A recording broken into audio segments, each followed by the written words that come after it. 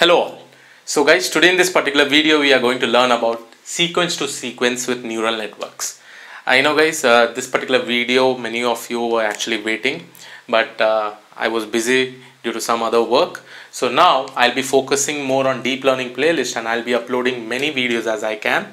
So first we'll start with sequence to sequence with the neural networks. In that we'll try to understand encoders and decoders. We'll try to understand how encoder and decoder actually work and then after this we will be going and seeing regarding attention models but before that we'll also be seeing the practical implementation of encoder or decoder with the help of TensorFlow 2.0 and considering Keras in mind. So let's go and understand that how does encoder and decoder actually work. And before that guys, we need to understand what is sequence to sequence with neural networks.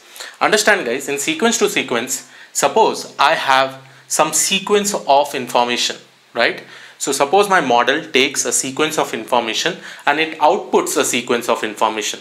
So that may be a different kind of example altogether. Now just see one of the example that I like to mention is um, if I say language translation, right? Suppose I want to convert English to French. Okay, so that can be a sequence to sequence learning, right? So I can also consider if I give an image over here, right?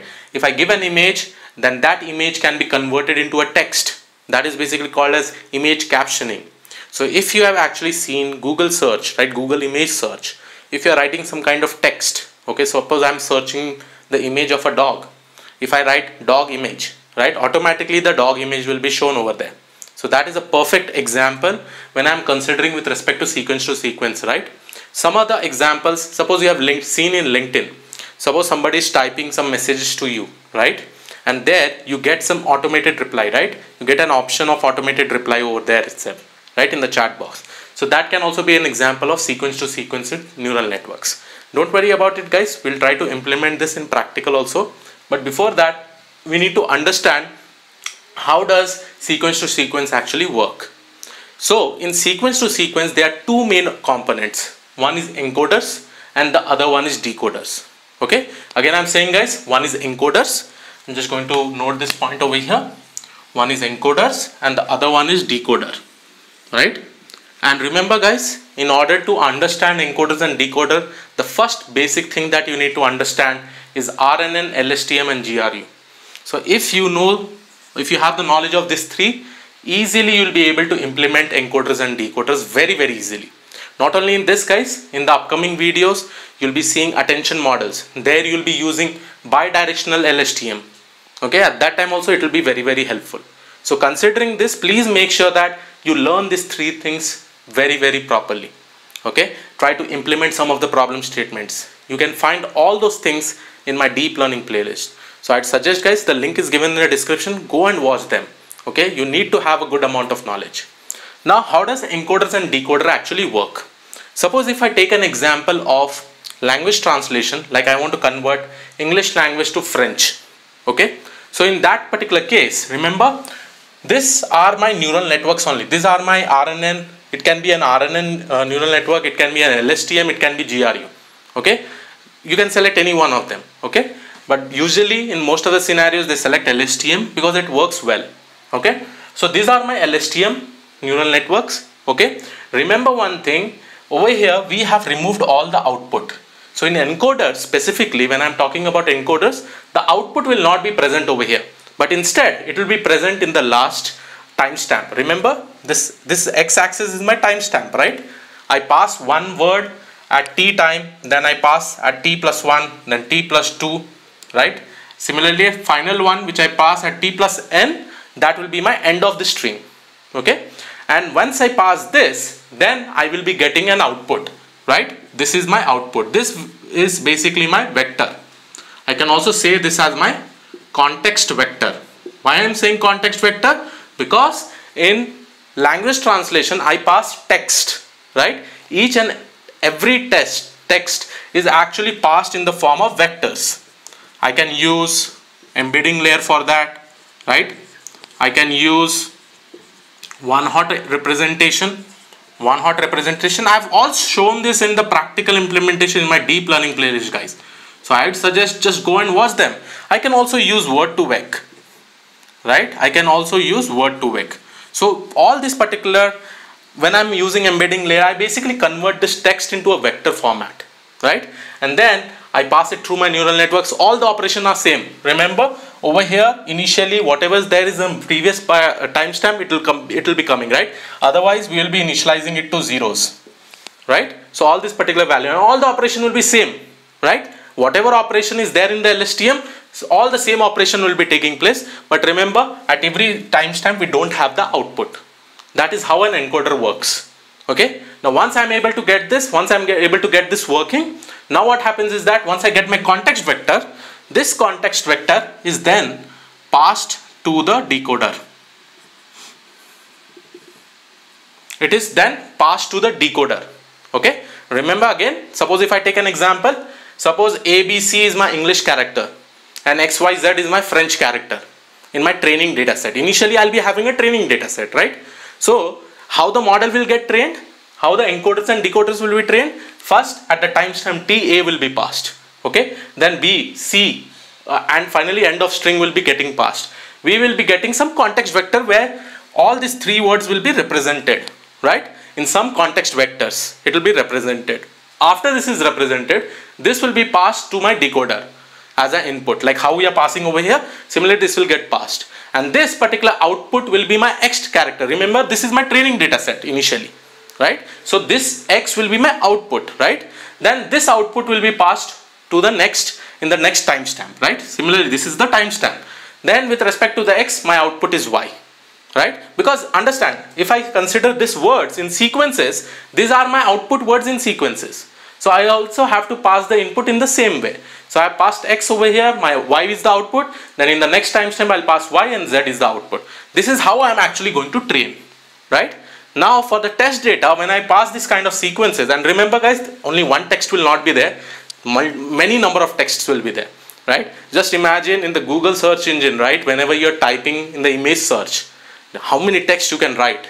And if you are able to map all the languages in language translation, right? English to Hindi, English to French, English to Chinese, right? English to Mandarin, uh, and different different languages you can actually actually create a training data set, and based on that you can train them. Okay. Now once you pass y, you'll be getting z, and again z will be passed over. Finally, I'll be getting my end of string. So when I get over here, that basically means that is my end of the output. Okay, end of the output. Now and remember guys, this size may be different. It it may be different to this size right? The input sequence and the output sequence may be completely different. Sorry this output sequence. So over here i have written see this? This is my x. X is basically my input. X1 x2 x3 it can be any number of x's okay? Which i'm considering it as a b c and the output is y1 y2 y3 this is nothing but y1 y2 y3 right? But when i am actually doing the prediction for the new test data i will be creating y1 hat y2 hat and y3 hat. Right? And how I'll be creating? A simple probability. LSTM actually works on probability when you're actually finding out the output. How the probability is computed? We'll try to find out the probability of y1 hat, okay, or I'll just say y hat given your sequence of characters x1, x2, x3 up to xn, right? So I hope you have seen this probability. We have seen naive Bayes also guys, this kind of uh, problem statements. I already uploaded a videos on that, right? So this kind of probability will be taken where your sequences of inputs will be taken and we'll try to find out what is the probability of y hat.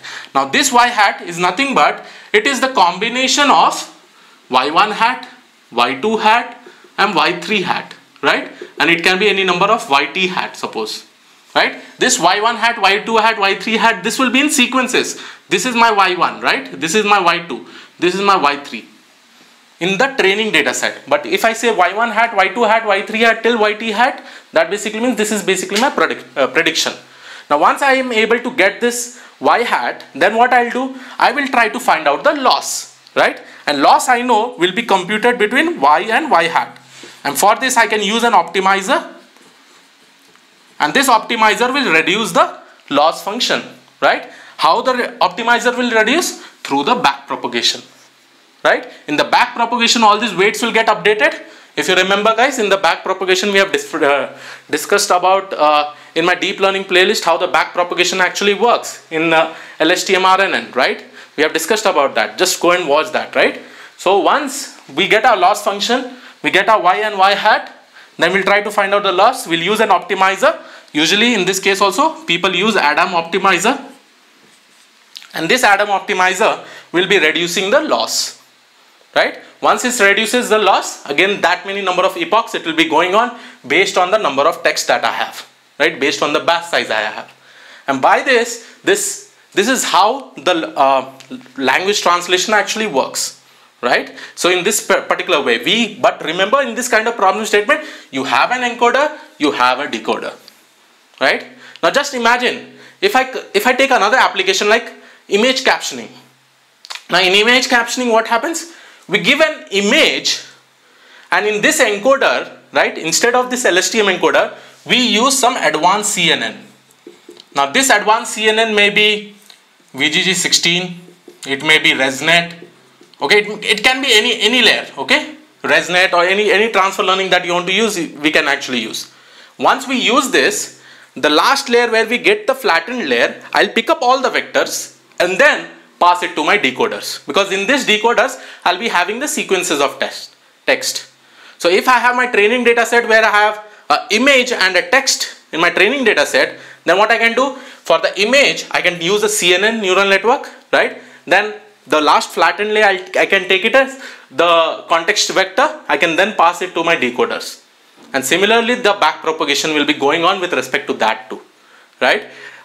The best thing is that guys I'll be showing you this in my next video with respect to the examples. We'll try to solve a language translation problem and after that we'll also solve a image captioning problem right? One disadvantage with respect to this encoders to decoders is that guys whenever you have long sentence right? The accuracy is not that good. Now when I say long sentences that basically means uh, there is there is a score which is called as BLEU score. Okay i'll be discussing this in my upcoming videos. It is it is shown that as the sentence length increases with respect to the encoders and decoders the accuracy decreases. You know the translation accuracy actually decreases. So considering this what we are going to do is that we will be we will be using a different kind of model which is called as attention model. Okay? And the attention model is again a little bit change in the architecture. Instead of LSTM they'll be using bidirectional LSTM okay? Now when they use bidirectional LSTM there are some more changes that will happen in that which I'll be discussing in my next video. Right? So remember the basic thing is that get your basics right. Get your basics like CNN ANN RNN LSTM GRU right and just by changing the architecture you'll be able to do a whole lot of things so yes guys this was all about this particular video. In the upcoming video we'll be doing the practical session with respect to language translation. So yes i'll see you all in the next video. Have a great day ahead. Please do subscribe the channel guys. Thank you one and all. Bye bye